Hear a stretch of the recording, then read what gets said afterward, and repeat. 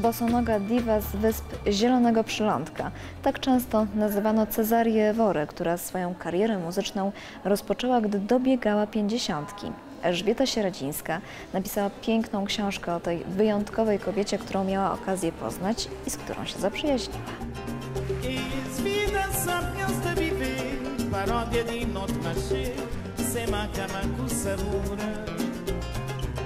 Eis vida sapiens de viver, paródia de not nascer, sema cama sabura. Eis vida sapiens de viver, paródia de not nascer, sema cama sabura.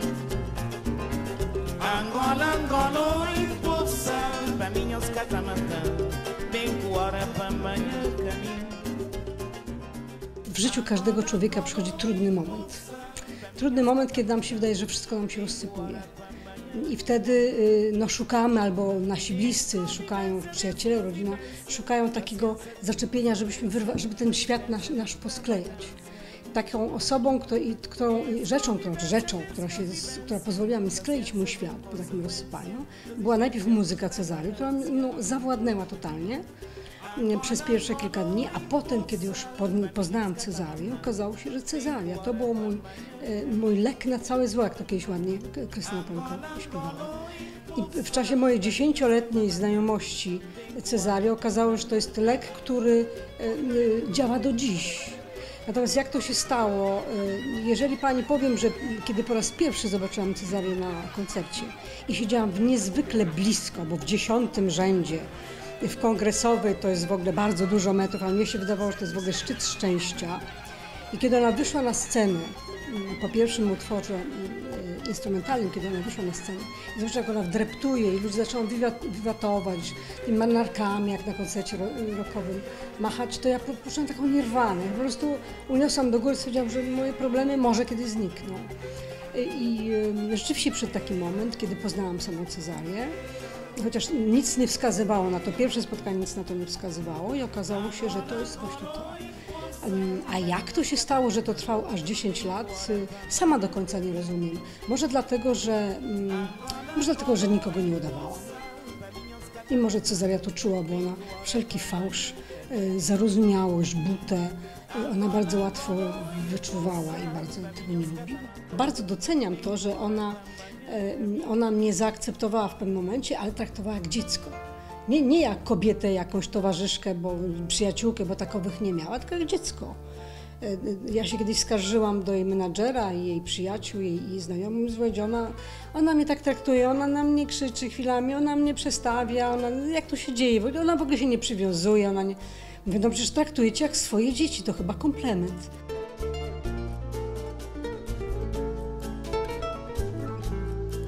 Matkana Boy crambole Bo carambola Minha casa me Matkana Boy crambole Bo carambola Minha casa me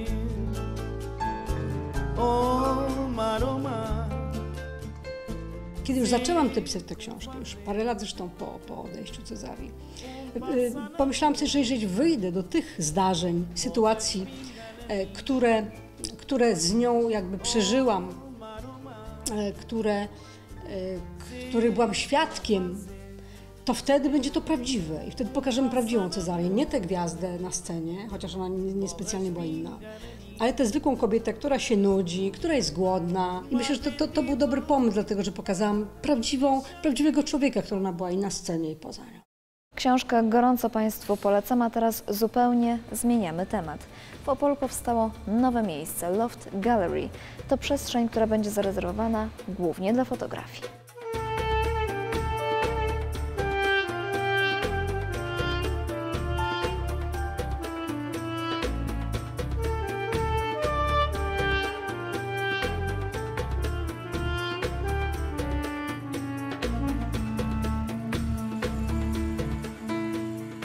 Galerii nigdy za wiele, tak? E, jestem fotografem i zawsze marzyłem, żeby mieć własną galerię. Tutaj jest bardzo dużo pięknej, wolnej przestrzeni, wymarzonej wręcz do, do, do galerii.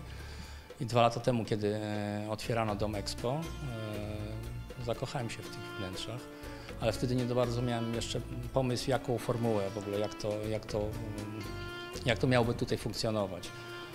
No i teraz po dwóch latach wspólnie z Waldkiem, który też jest fotografem, kiedy pokazałem mu te wnętrza, no więc po prostu bez, bez pytania od razu, absolutnie, wchodzimy i robimy tutaj galerię fotografii.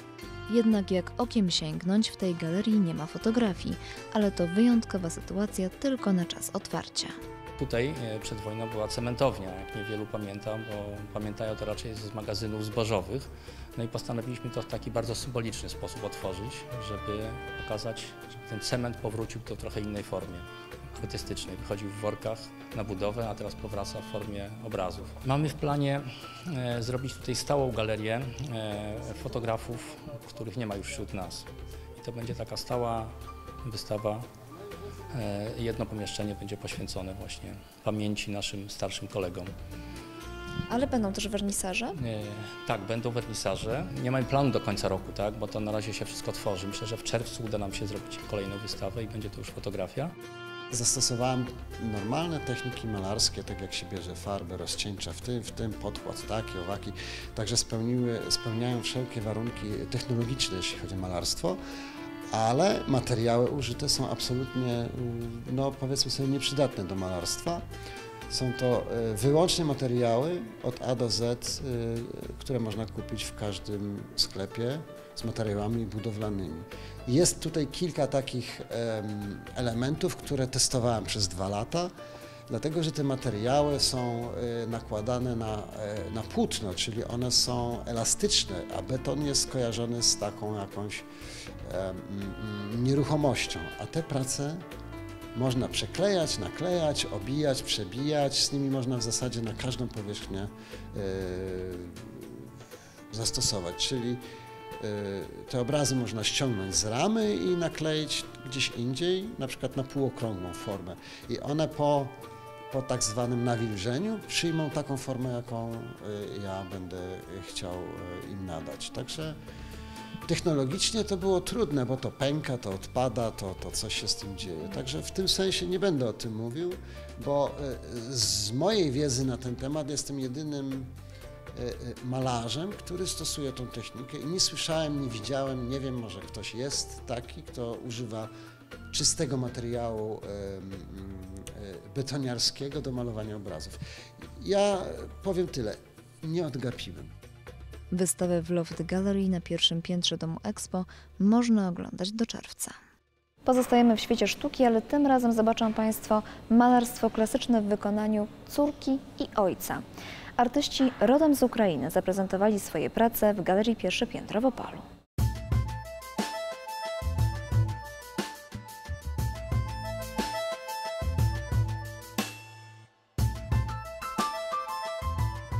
Stosuję bardzo różne techniki, bardzo lubię eksperymentować, coś, coś szukać, e, jakiś swój styl i stosuję mieszaną technikę e, akryl, olej. E, także bardzo lubię robić jakieś rysunki e, w olówku lub tak e, kredkami, no, e, akwarele. E, to, na co pozwala mi moja wyobraźnia. Artyści urodzili się na Podolu. Ich tak odmienne spojrzenie na sztukę ma związek m.in. z tym, gdzie mieszkali po wyjeździe z Ukrainy. My razem podróżujemy. Od e, 2005 roku em, wydarzyło się tak, że ojciec pojechał na zachód, a ja pojechałam na wschód.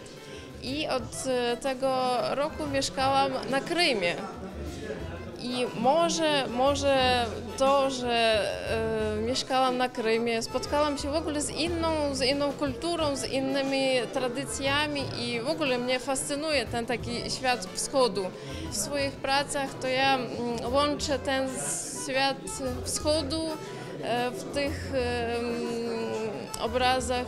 Także się jeszcze fascynuję się kulturą Kaukazu i Bałkanu. W ogóle dla mnie to, to jest taka potężna siła, która zawsze jest w moich pracach. Mieszkaliśmy na zachodzie, studiowałem w Lwowie, dlatego i moje obrazy gdzie to się czuje w takim bardziej e, zachód, bardziej coś takie klasyczne malarstwo. Dlatego różnimy się, różnimy się w stylach, różnimy się w malarstwie, ale czasem e, malujemy coś wspólnie. Bardzo dużo się konsultujemy, bo każdy ma swoje szkoły, każdy ma swoje poglądy. Czasem e, nie zgadzamy się, ale zawsze mamy jakiś e, wspólny interes w tym, co, co tworzymy. Pańskie malarstwo jest klasyczne, realistyczne i myślę, że bardzo wymagające, jeśli chodzi o warsztat. E, Studiowałem w Lwowie, dlatego warsztat jeszcze mam ten e, dawny, taki jak to lwowska szkoła. E, No i to mi się podoba.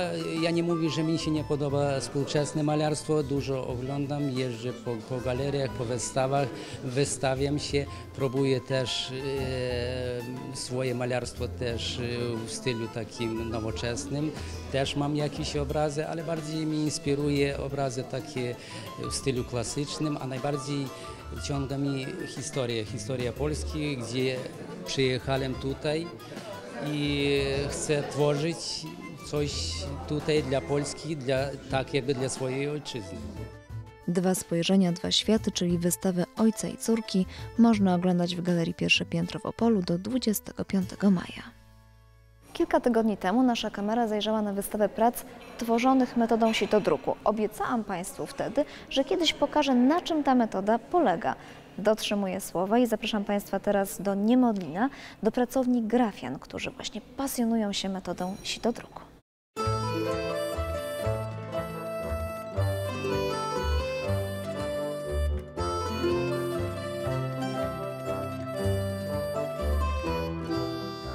Ja od 20 paru lat zajmuję się poligrafią. W tym również jest sitodruk.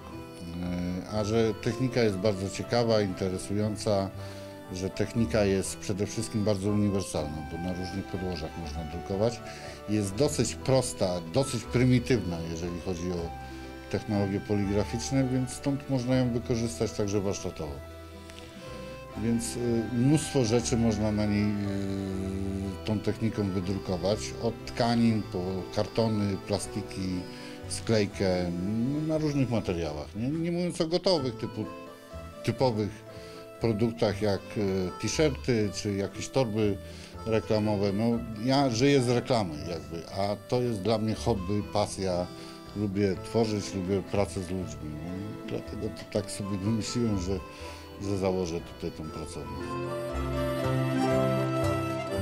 Pierwszą zasadniczą rzeczą jest, jest tworzenie e, projektu. Każdy wymyśla swój jakiś projekt, tworzy.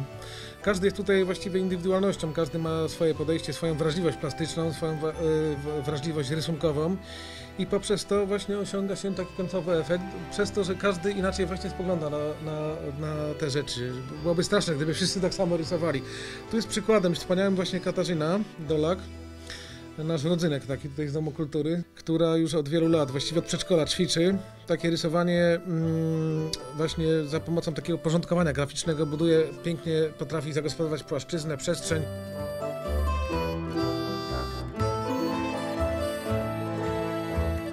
Projekt, jeśli już jest skończony, no tam po jakimś czasie, to, to po, po dwóch spotkaniach, gdzieś tak średnio, prawda, dwa spotkania to zajmuje.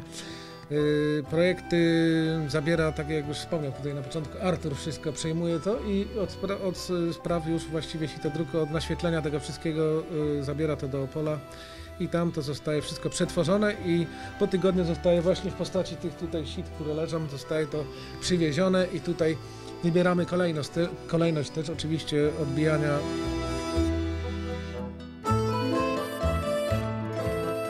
Gdy drukujemy na tkaninach, ma, mm, ja mam takie wrażenie, że, że tworzę coś niepowtarzalnego, coś wyjątkowego, e, co, co nikt inny nie jest w stanie podrobić. E, szy, szycie z tkanin, które są dostępne w, w różnych hurtowniach, każdy to szyje, kto, ym, kto, się, kto się tym zajmuje. Natomiast szycie z takich tkanin e, to jest po prostu coś innego. No właśnie, bo ty też e, dużo szyjesz, to jest twoja pasja w pewnym sensie. Uszyłaś też e, piękną lalkę, bierzesz udział w pewnych konkursach i zdobywasz e, spore sukcesy. Opowiedz o tym proszę. W, zeszłym roku to wszystko się zaczęło. Zajmuję się nie tylko szyciem maszynowym, ale także ręcznym, jak tutaj widać z filcu. E, W sumie nie wiem, jak to się zaczęło. Tak, tak od drobnych, od drobnych rzeczy, od drobnych form, e, form serduszek, e, serduszek i, i, i kółek, przez bardziej skomplikowane formy, tak jak e, tutaj marynarka, spodenki, buciki. To jest lalka z zeszłego roku. Zajęła ona główną nagrodę w Zielonogórskim Ośrodku Kultury na konkursie Magia Teatru Ma, Maski i Lalki. To prawda, że pani razem y, z dzieckiem tworzy, tudzież y, dla dziecka pani tworzy? e, dla dziecka i z dzieckiem, bo często ze mną siada w domu coś porysować sobie, coś kombinujemy razem. No i dla dziecka, bo z każdego, e, z każdych warsztatów coś wynoszę, jakąś koszulkę z zadrukiem i ona zaraz ubiera, przebiera się, zaraz musi do przedszkola jako nowe za, zanieść, ubrać się. Fajnie mieć taką oryginalną mamę. No tak, nawet z jakimiś potworami koszulki nie przeszkadza i ważne, że mama zrobiła, wydrukowała. Największą frajdę miałam y, z szycia tych matrioszek, poduszek, laleczek, które dosyć bardzo się podobały na, na naszym drukowaniu na Wielkiej Orkiestrze Świątecznej Pomocy, zwłaszcza jeżeli były y, uszyte z drugiej strony mięciutkim pluszem. Dzieciaki się przytulały do tego. Myślę, że to było najfajniejsze jak dla mnie, bo na co dzień też szyję maskotki bo dla dzieci. Więc, więc to było najfajniejsze, jak do tej pory. Na razie uczę się szyć torby i poduszki, bo wcześniej tego nie robiłam, ale już pomału trenujemy. Teraz grafianie z Niemodlina przygotowują się do wystawy, która będzie zwieńczeniem projektu Przedwiośnie, który rozpoczęli we wrocławskiej spółdzielni. Efekty ich pracy zobaczymy w czerwcu w Opolu. Konkretnej daty jeszcze nie ustalono. Mam nadzieję, że metoda druku zainspiruje Państwa do twórczych działań, a jeśli nie, to zachęcam do tego, by teraz przenieść się w krainę dźwięków i to dźwięków nietypowych, bo wydobywających się z akordeonu Marcina Wyrostka. Te wspaniałe brzmienia można było usłyszeć w Filharmonii Opolskiej. Jak się dowiedziałam, pan Marcin Wyrostek nie pierwszy raz właśnie tutaj koncertował, no ale o swojej pasji, o muzyce, o akordeonie i o Opolu już opowie Państwu sam artysta.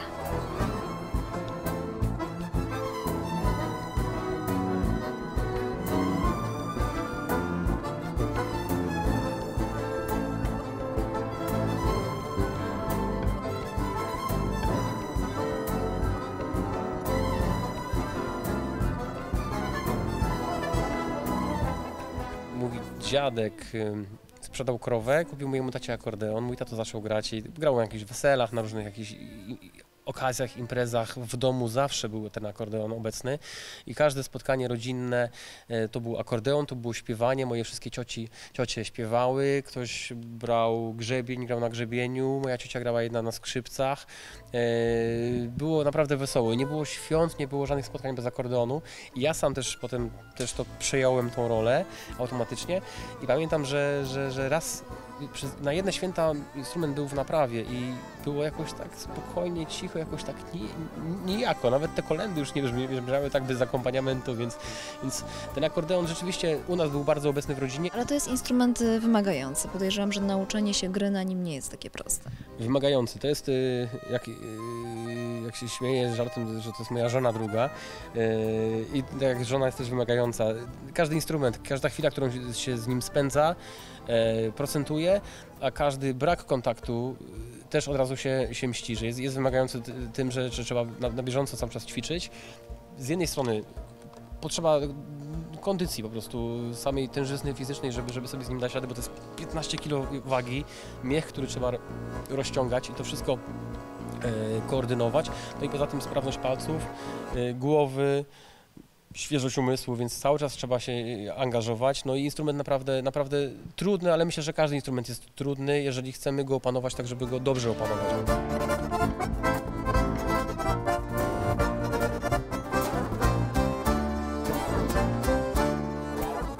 Ma mnóstwo możliwości, tych brzmień jest tu bardzo wiele, pod warunkiem, że potrafi się to e, wykorzystać. Ta trzecia płyta chyba pokazuje to, to największe spektrum akordeonu. No właśnie to był, to, to był taki mój w ogóle y, taki moje takie marzenie kiedyś, żeby, żeby y, grać koncerty z orkiestrami, żeby, żeby nagrać muzykę autorską. Moje marzenia się spełniły i właśnie na tej płycie muzycznie chciałem y, pokazać te możliwości, jakie ten instrument ma. I, i jest też utwór solowy, i są utwory e, folkowe, i są utwory w klimatach tangowych. Jest też y, utwór, który zadedykowałem mojemu tacie. Są różne, różne spektro dźwięku, brzmienia akordeonu, które, które- które, które można tam usłyszeć. I naprawdę to jest instrument o bardzo, bardzo szer- szerokich możliwościach.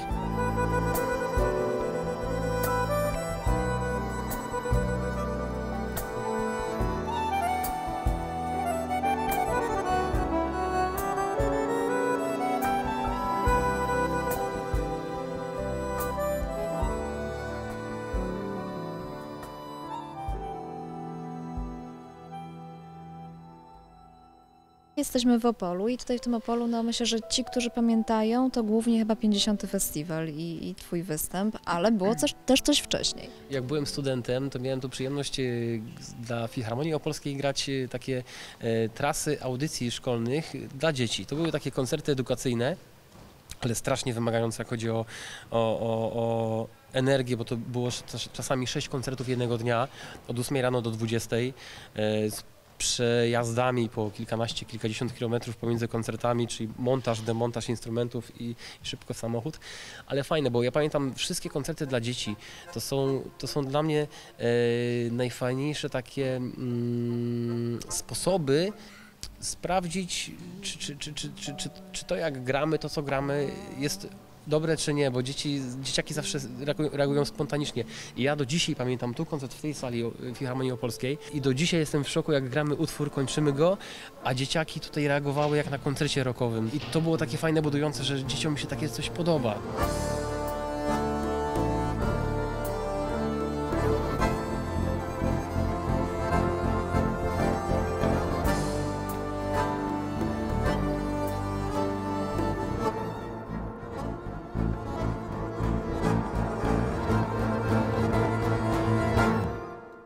Tym muzycznym akcentem kończymy dzisiejszy program, ale nie pozwolę Państwu zapomnieć o strefie kultury.